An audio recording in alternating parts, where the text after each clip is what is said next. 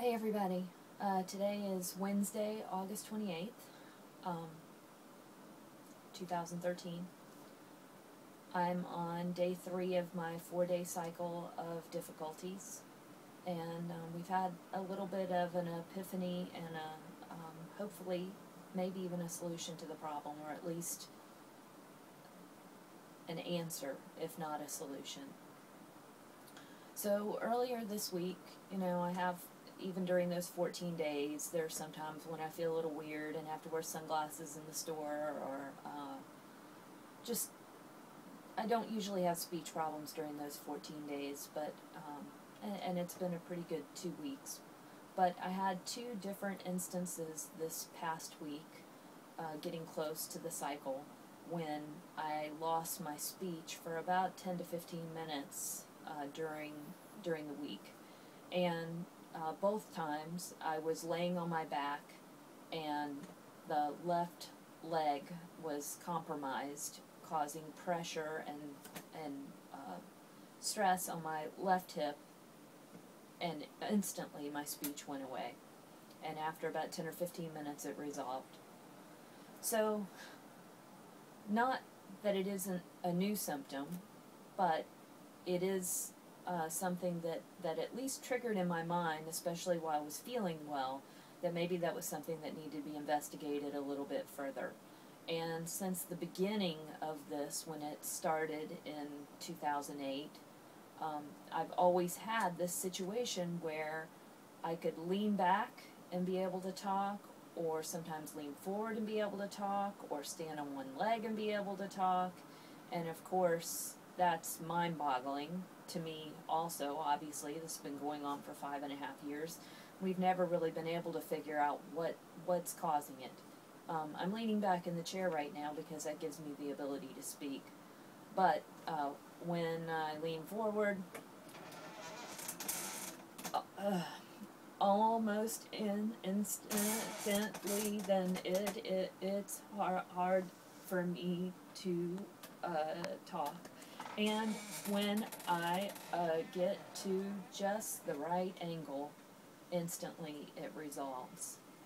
And of course, all the things that I've shown you in the past videos, it's only affecting the left hemisphere of my brain. I mean, I can still, it's all the things that I've shown you before with covering one eye and all that. And I guess in my mind, I was thinking that it was just the hemispheric parts of my brain um, even with this balance thing, but because of what happened earlier this week, um, and let me also say, chiropractic has been extremely beneficial with what I have going on.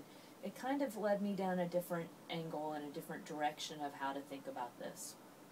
So one thing that I've noticed during the course of this illness is uh, I have a chiropractic friend who helps me out regularly, and she uses an activator. And on the T3, T4 vertebrae, when she uses the activator, instantly my speech would come back.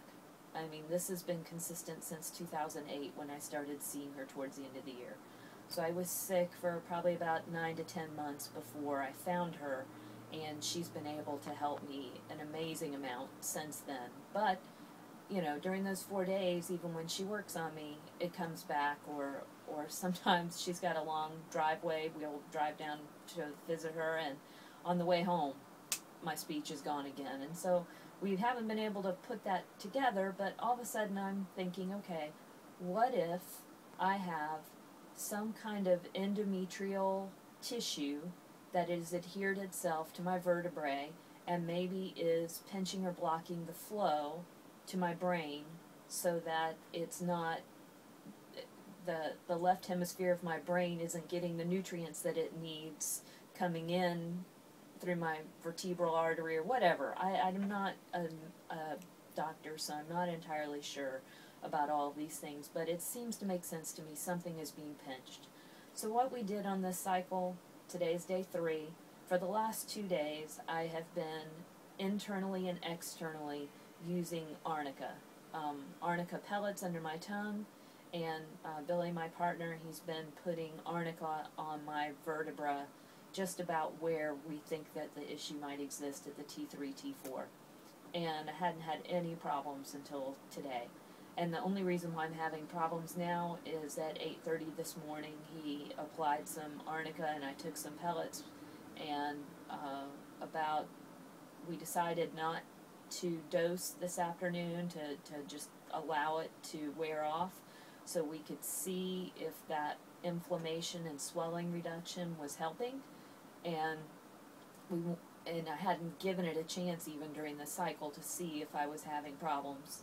So about mm, it took about six hours. About two thirty this afternoon, it started gradually wearing off. By about I couldn't think at first, and then it, it kind of passed on to my reading, and then by about three thirty, I couldn't talk. It's uh, four twenty-five right now in the afternoon, and it's been about two hours that I've been suffering with what I'm going through. Uh, my intention right now is when I finish this video, we're going to go ahead and apply arnica to my back. I imagine since the inflammation has increased, it might take a little while, but we're going to time it to see how long it takes, and hopefully, I'll have a full recovery back to normalcy. So, thank you for viewing, and uh, we'll get back with you hopefully in about an hour.